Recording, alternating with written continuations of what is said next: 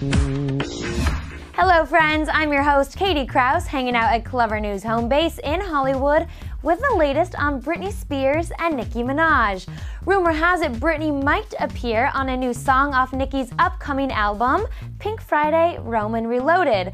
According to Britney Spears' fan site, BreatheHeavy.com, the pop singer will be featured on a Minaj song called Masquerade.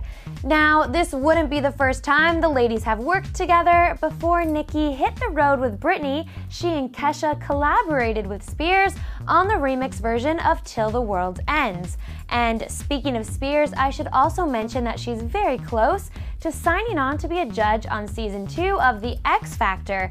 We'll have more on that as the news comes in, so make sure you're subscribed.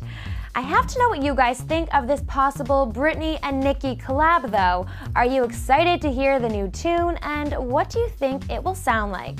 Sound off on all things Britney and Nicki in the comments below or tweet us at twitter.com slash clevvernews. I'm Katie Krause in Hollywood and I will see you next time.